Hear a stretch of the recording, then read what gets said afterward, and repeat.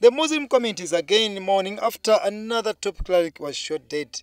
Sheikh Mustafa Bahiga was gunned down on Sunday night at Webaja just four days after the Shia leader in Uganda was killed in Mayuge.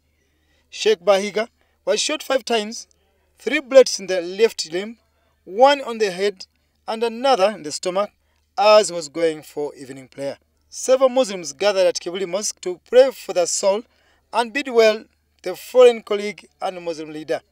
These include religious leaders including the caretaker of Kibuli Mosque, Prince Kasim Nakibinge, Kibuli Sector Mufti Sheikh Zubai Kayongo, members of parliament and police chief General Kale kaihula among others. It's here that General kaihula faced questions from Muslims who demanded to know why investigation reports on the murder of prominent Muslim leaders are never released, yet these killings continue. Sheikh Abdul Karim kibuga wakati that report mpaka olwaleero eyamutta tamanyiddwa.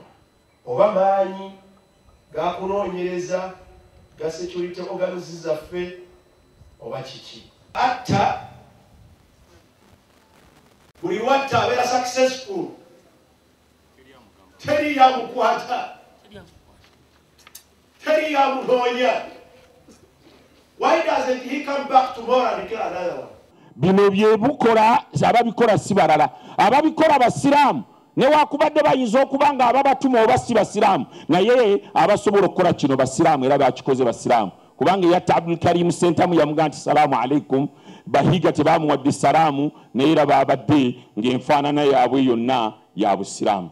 At this moment apart from mourning me nga like somebody with, with responsibility to protect life you, feel really you have failed. You have failed the people. I'm very sorry that we could not protect him. Um, that's all i can say. I'm a human being.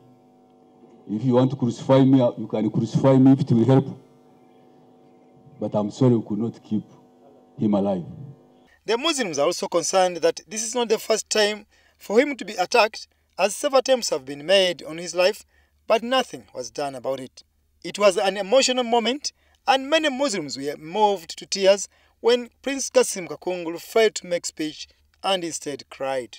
nabadde n'olukiiko ne igp paka saa munaana ogw'ekiro ne mukakasa nti abasiraamu bano bakkakkamu. Naye si bakkakkamu mu bunafu. Essaawa ejja kutuuka batulemerere era nga ndowooza aleikum ebigambo ebyo They also claims that the killers earlier released a list of top targets of six top Muslim leaders to be killed, including Sheikh Swadik Ndaula, Sheikh Mohammed Kibate, Sheikh Hassan Kiria, Sheikh Haruna Jemba, Amir Najib Sonko, and now the late Sheikh Mustafa Bahiga. These are reportedly targets over the Masjid Noah Mosque at William Street in Kampala. tuliwedde okusigala ku bye tukola okusigala nga tutwala emaaso ddiini yaffe ne bwe kinaaba kikostinga more of our lives. Never dream. Tewabangayo aloota nti okutta abasiraamu kugenda kubajja ku ddiini yaabwe. One of the orphans who was with the deceased when he was killed narrated the father's last words before death. naye abasawo naffe kennyini twakyewuliddeko abasawo baaze ne batubuuza kamu kamu mumanyi kuba omugenzi shekumukoba bahiga yabadde agamba nti kamuga yatuta obulamu bwe Muslim clerics also urged government officials to back off Muslim affairs because their involvement is causing a bigger rift among Muslims, especially when they take sides.